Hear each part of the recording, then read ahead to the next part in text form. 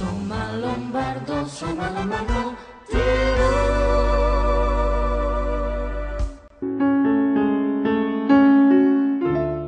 Assessore Locurcio, ripartiamo dopo la pausa estiva che ha visto la Fallaci con la mostra particolare aperto per ferie, ripartiamo da Lucia Arpino con l'attività, nonostante crisi, carenze economiche, in ogni caso della Fallaci ancora alla grande anche per quest'anno.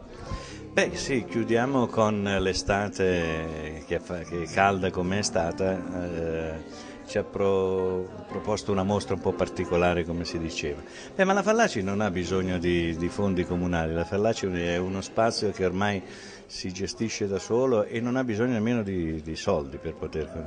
ha bisogno solo di talenti, di artisti che vedo sempre diversi, sempre numerosi che con tanta buona volontà e con tanti, tante opere di qualità si presentano qui a, eh, in mostra. Questa artista di oggi è veramente molto molto brava, mi piace molto questo stile, mi piacciono i lavori che sono curati con una particolarità e con un'attenzione unica.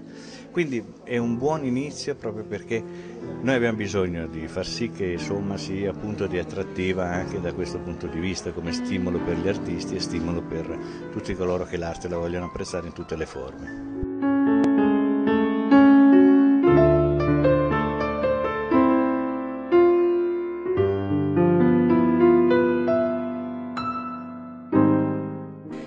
Pittrice figurativa, mi posso definire così, amo soprattutto la pittura ad olio perché i miei quadri sono praticamente tutti ad olio, anche se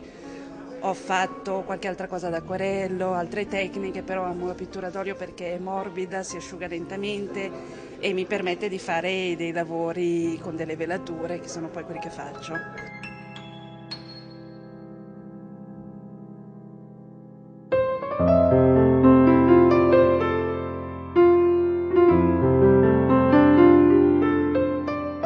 Comincio a dipingere dai 15 anni circa, ho sempre disegnato come tutti i bambini d'altronde,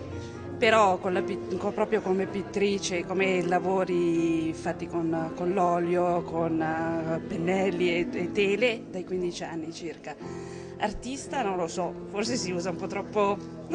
la parola artista e arte si usa un po' così con superficialità, non lo so, lo devono dire gli altri.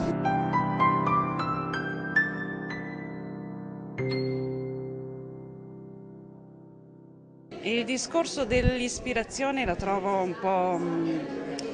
poetico ma non poi reale, perché quando uno deve lavorare comunque lavora indipendentemente dall'ispirazione, se uno dovesse aspettare sempre l'ispirazione per fare qualcosa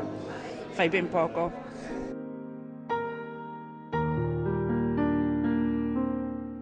Le persone che hanno preso dei quadri da me mi dicono che poi passano magari un giorno dopo l'altro spolverandolo, trovano un nuovo particolare, e questo mi fa piacere decisamente.